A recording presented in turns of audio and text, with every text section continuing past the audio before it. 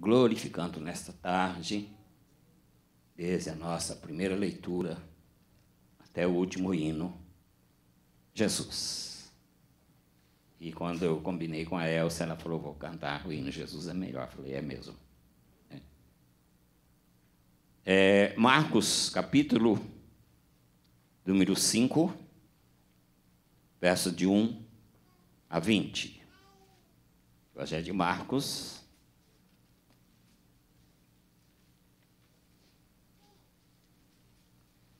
Capítulo 5, verso de 1 a 20. Vamos falar mais uma vez sobre Jesus.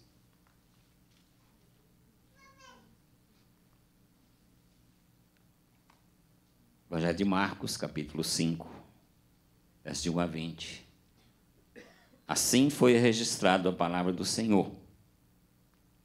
Entre mentes chegaram a outra margem do mar, a terra dos Gerazenos. Ao desembarcar, logo veio dos sepulcros ao seu encontro um homem possesso de espírito imundo, o qual vivia nos sepulcros, e nem mesmo com cadeias alguém podia prendê-lo porque, tendo sido muitas vezes preso com grilhões e cadeias, as cadeias foram quebradas por ele, e os grilhões despedaçados, e ninguém podia subjugá-lo. Andava sempre de noite e de dia clamando por entre os sepulcros e pelos montes, ferindo-se com pedras.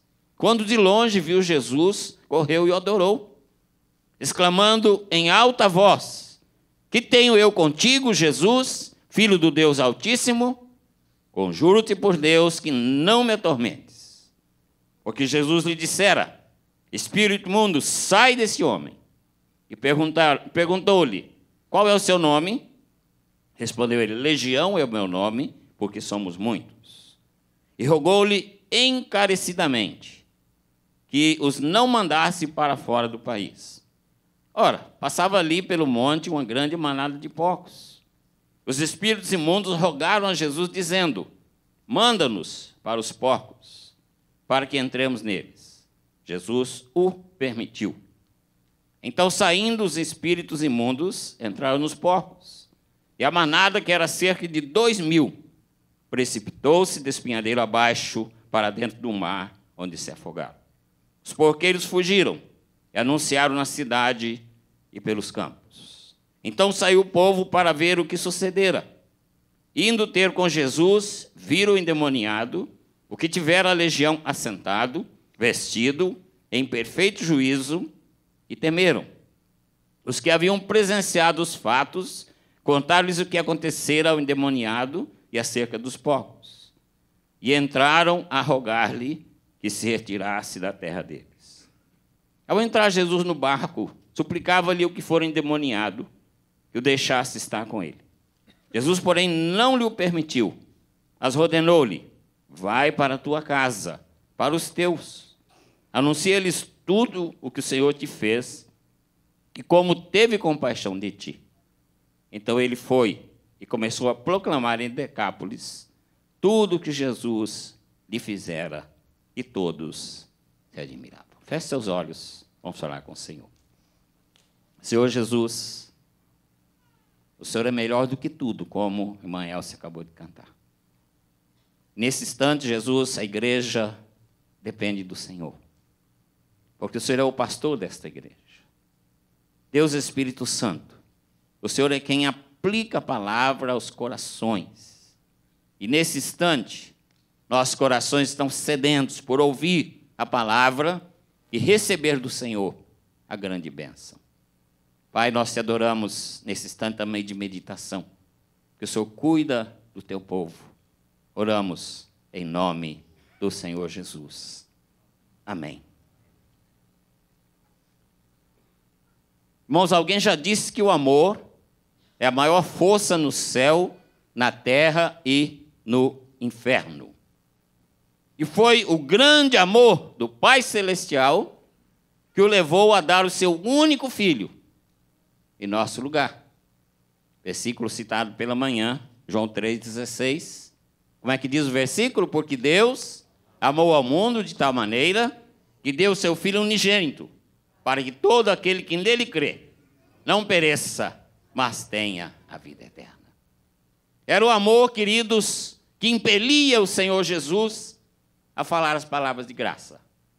Era o amor que impelia o Senhor Jesus a operar milagres de misericórdia.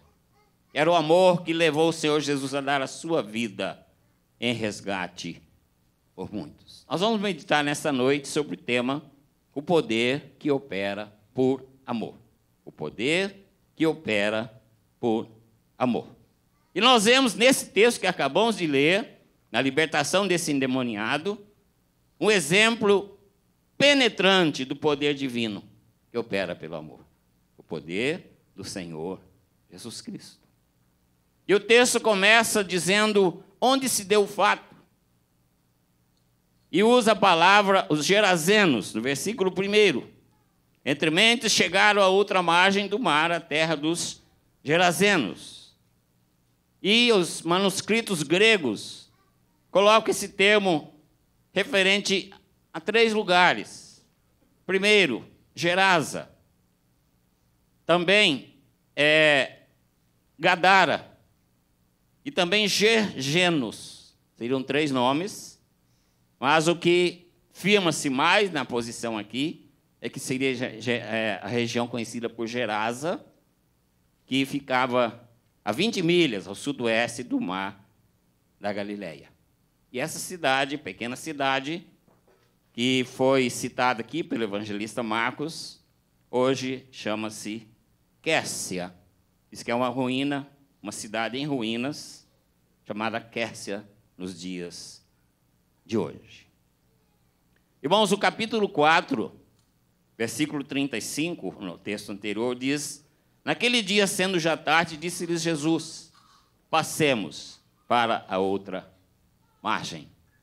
E eu pergunto por que motivo o Senhor mandou que passassem para o outro lado do lago.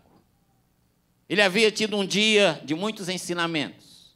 Um dia bastante cansativo. E nada melhor do que se eles ficassem quietinhos lá onde eles estavam, para poder então descansar. Mas Jesus disse: vamos para o outro lado. E qual seria o objetivo dessa viagem para o outro lado do lago? Para libertar esse endemoniado. E durante esta viagem, que seria um trajeto muito fácil, muito tranquilo, para os discípulos que conheciam muito bem a região, houve interferência de Satanás, que esforçou-se para evitar que Jesus chegasse do outro lado. Capítulo 4, verso 37, 38 e 39 diz assim: Ora, levantou-se grande temporal de vento, e as ondas se arremessavam contra o barco, de modo que o mesmo já estava a encher-se de água. E Jesus estava na popa dormindo sobre o travesseiro. Eles o despertaram e lhe disseram: Mestre, não te importa que pereçamos?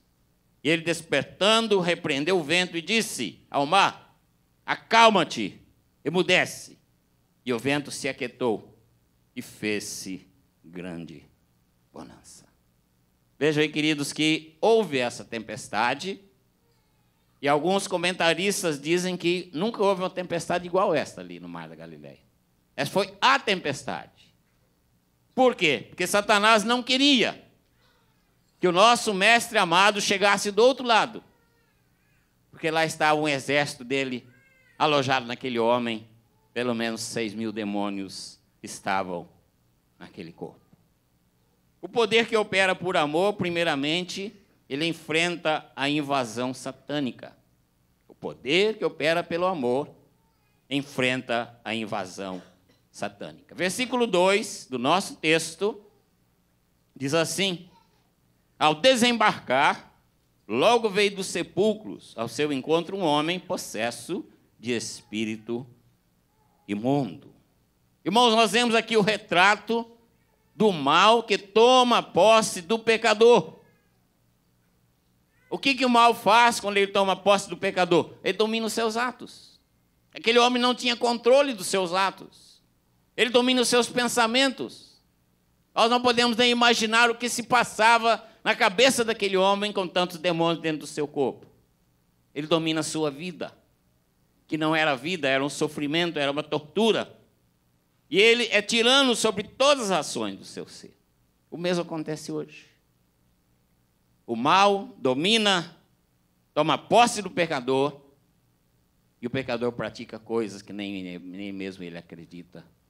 Depois, quando contam para ele o que aconteceu. E esse homem, versículo 3, diz que ele habitava nos sepulcros, ou seja, no cemitério, entre as sepulturas.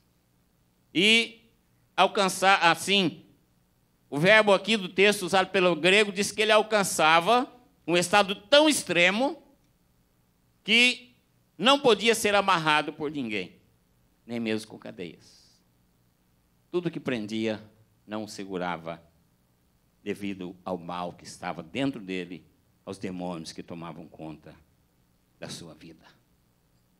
E Marcos continua o seu relato dizendo que a impossibilidade de prender esse homem foi enfatizada com dois verbos vigorosos, né, dizendo que as cadeias, ele estraçalhou as cadeias e esmigalhou os grilhões.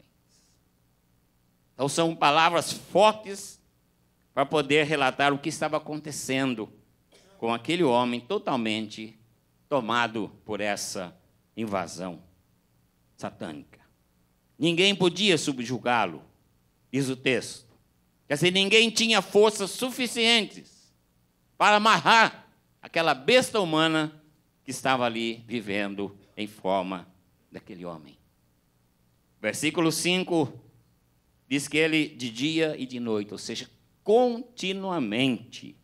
O que, que ele fazia continuamente? Ele clamava, ele gritava, ele dava guinchos, ferindo-se também com pedras. Irmãos, quando a gente olha o texto grego aqui, deixa a gente ainda mais assim, envolvido com a situação, o texto diz que ele se cortava todo, se reduzia drasticamente em pedaços. Nós podemos imaginar a cena desse homem agindo dessa maneira. Esta é a invasão satânica. Isso é que o inimigo faz na vida das pessoas.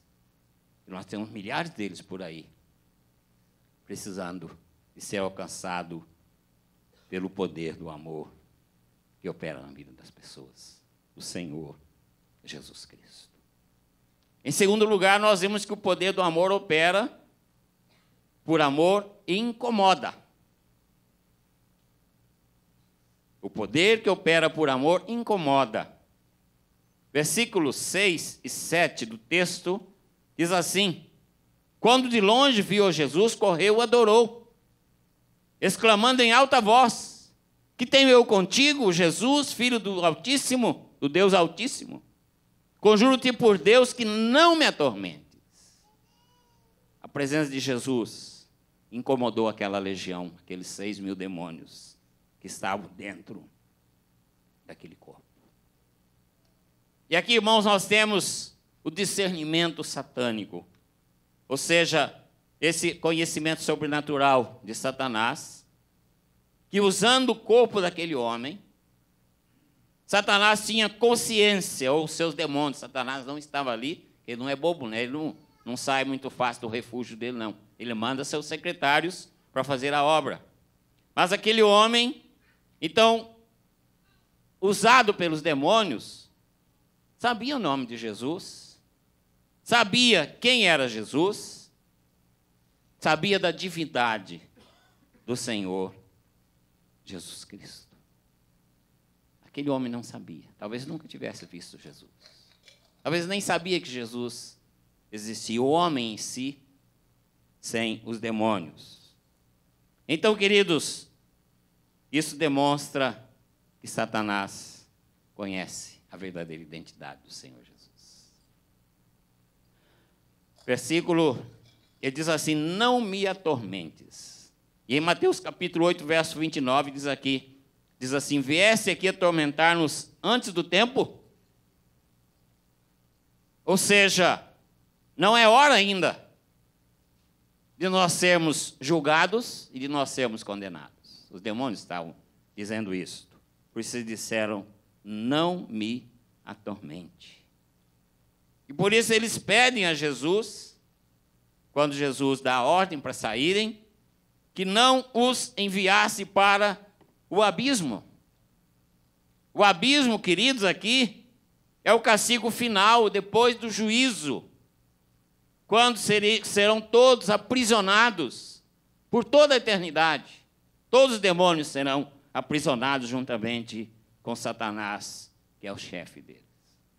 Então eles dizem agora: não, não é hora ainda, não, Jesus. Não manda a gente lá para o abismo. Não manda a gente para fora do país. Esse é o discernimento satânico, sabendo com quem está falando. E estavam falando com o Senhor Jesus Cristo. Estavam falando com amor em pessoa. E esse amor que usa o seu poder em prol de cada um de nós. Em terceiro lugar, o poder que opera por amor em ação. Ainda bem que o texto não parou por aí. O poder que opera por amor agora está em ação. Versículo 9 diz assim: E perguntou-lhe: Qual é o teu nome? Respondeu ele: Legião é o meu nome, porque somos muitos. Queridos, foi endereçado a um demônio só, que era o representante daqueles seis mil que estavam ali. 5.999. Estavam sendo representados agora por um que Jesus conversa com um só. E diz: Qual é o teu nome? E esse mesmo Espírito responde depois, né? Legião é o meu nome, porque somos muitos. Então ele era o representante daqueles muitos, daqueles seis mil que estavam ali.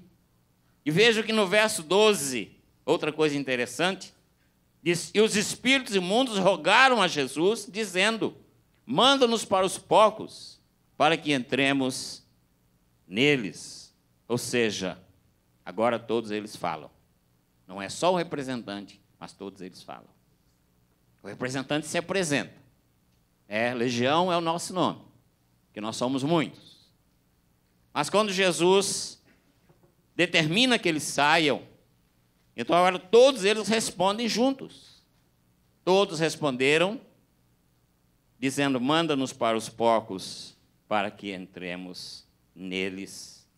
Então, queridos, como eu já disse, legião é uma unidade do exército romano que consistia de mais de seis mil homens. Ou seja, somos muitos. Um porta-voz e muitos que tinham se apossado daquele homem. Qual o significado da frase fora para fora do país? Lucas responde isso para a gente quando ele usa a palavra abismo. Rogaram-lhe que não os mandasse sair para o abismo. Como eu já disse, eles temiam ir já direto para a prisão eterna deles. Eles ainda queriam dar uma aprontadinha aqui neste mundo, como estão aprontando até hoje. Eles queriam ainda roubar, matar e destruir a vida de muitas pessoas. Por isso eles pedem ao Senhor Jesus, eles clamam ao Senhor Jesus para que não os mande para o abismo. Então eles dizem para Jesus: permita a gente entrar nesses porcos. E deixar bem claro aqui, queridos, que Jesus não mandou eles entrar nos porcos. Diz o texto que Jesus o permitiu. Muita gente pega esse texto para dizer que faltou ética ao Senhor Jesus Cristo. Que o Senhor Jesus deu prejuízo para os donos daqueles porcos, daquela porcaria, né? O Senhor Jesus causou prejuízo. Então nós podemos dizer duas coisas. Primeiro, os judeus não deviam possuir porcos, isso era proibido pela lei de Moisés. Se fosse isso, Jesus estaria repreendendo-os porque estavam contrariando a lei. A segunda coisa que nós vemos é que havia ali naquela região, daquelas dez cidades, Decápolis, uma população mista entre judeus e gentios. E o dono dos porcos não se apresenta diante de Jesus para saber se era judeu ou se era gentio. A Jesus não mandou. E Jesus o permitiu. Foram sim os demônios, e não o Senhor, que causaram a destruição. E o Senhor Jesus, João capítulo 10, versículo 10, diz: O inimigo vem senão, ou ladrão, senão para roubar, matar e destruir. Então ali estava o retrato do que o ladrão faz na vida das pessoas sem Jesus. Pessoas dominadas, pessoas sofrendo, pessoas acabando com sua saúde, pessoas longe da família, vivendo em sepulcros.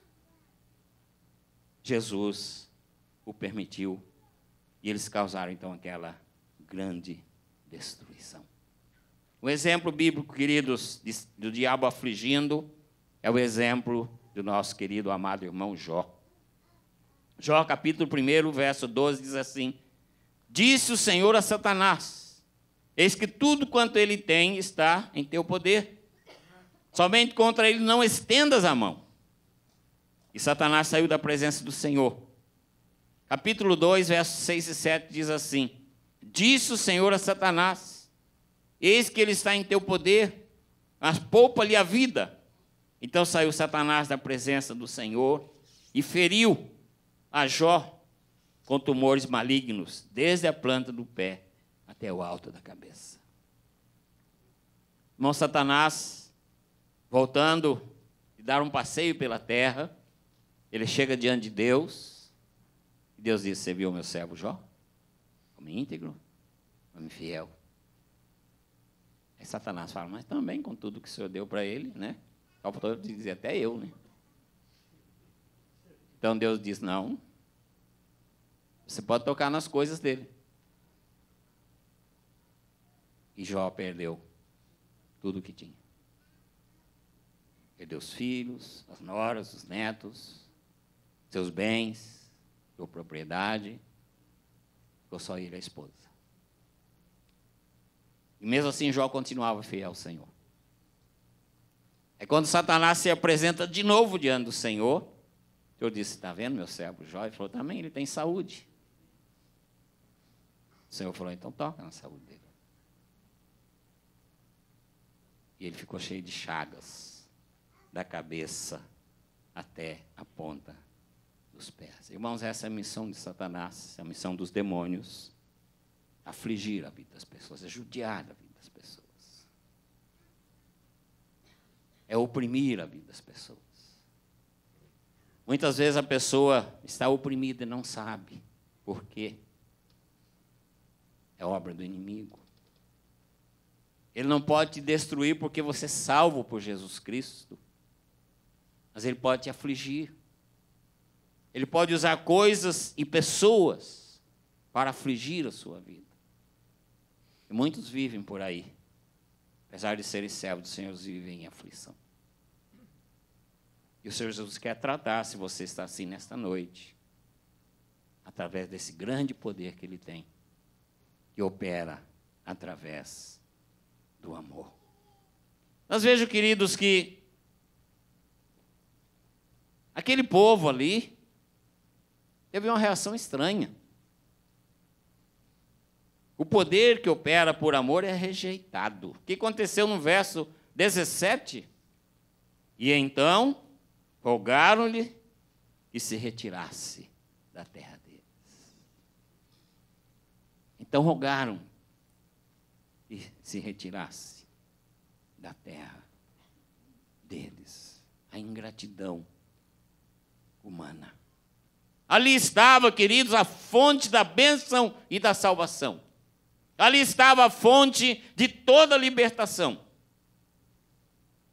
E eles pediram que se retirasse do seu território.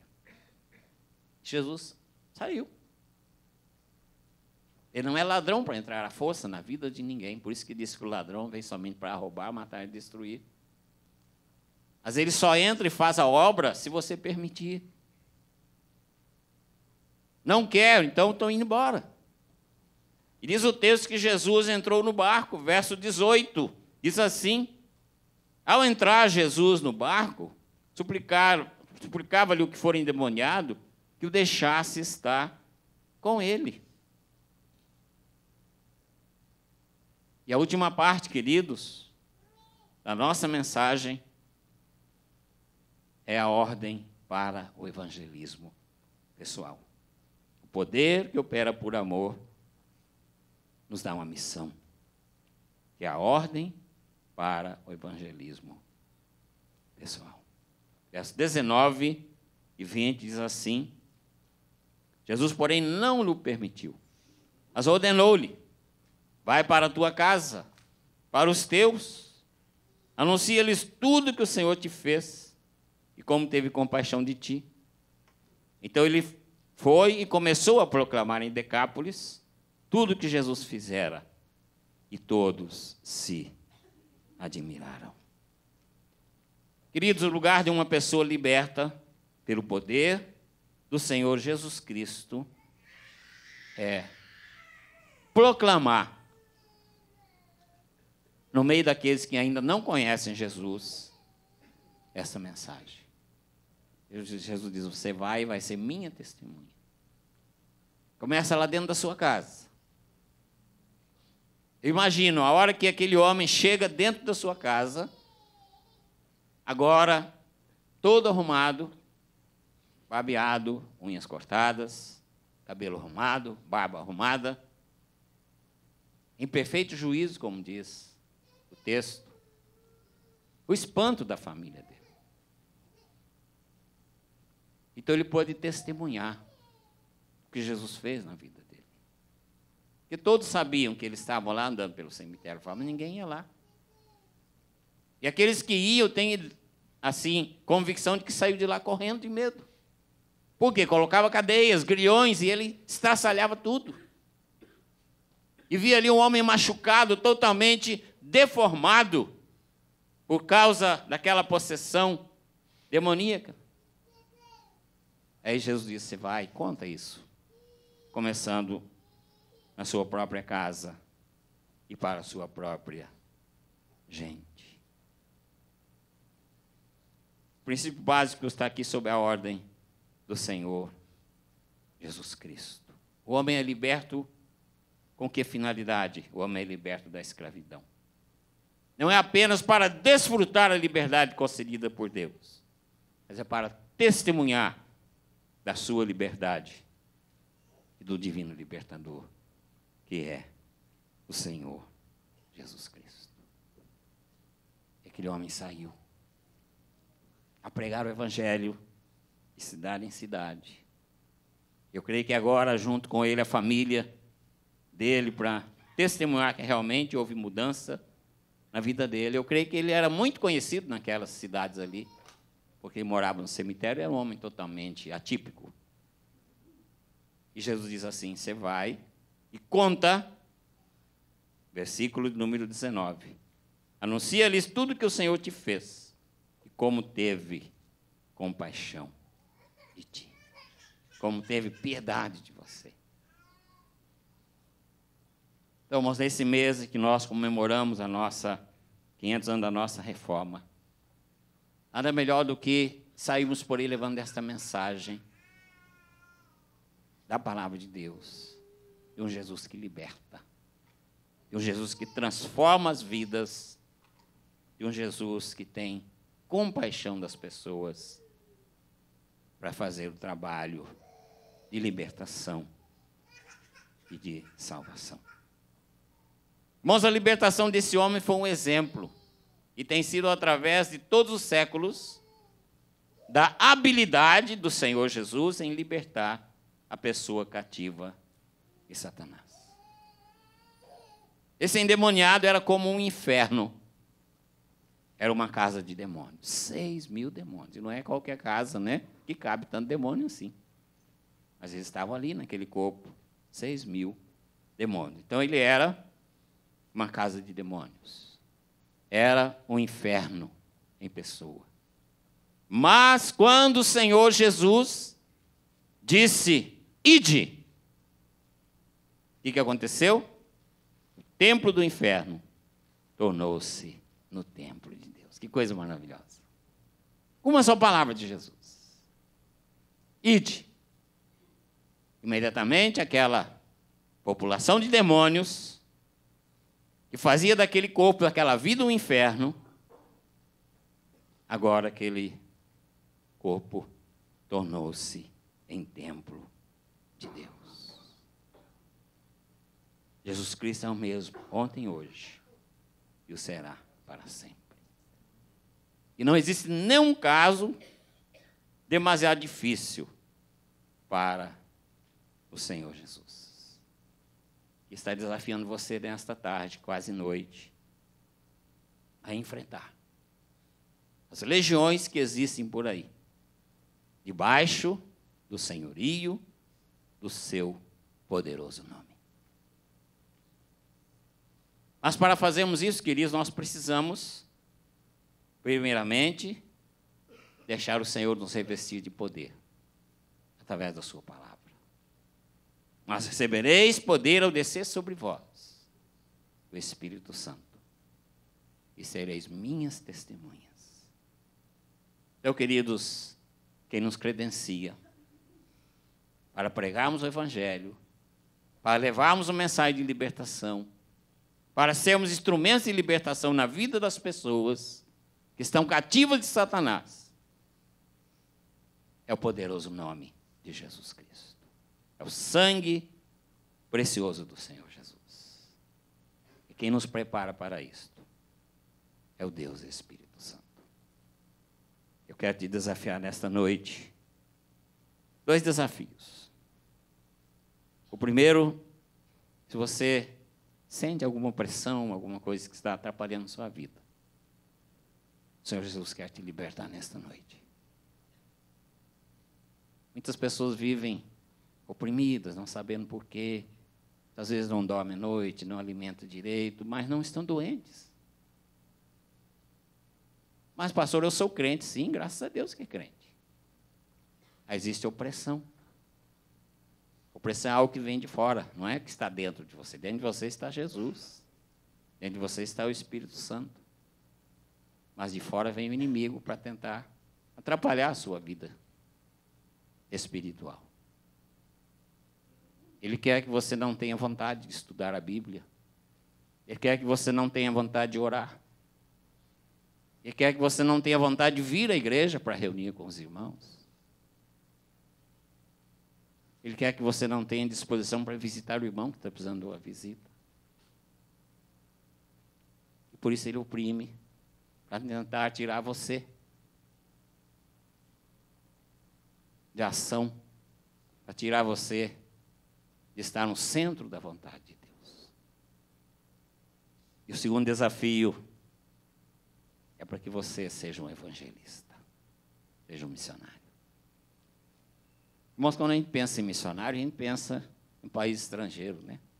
Ah, eu quero ser missionário lá na China. Quero ser missionário.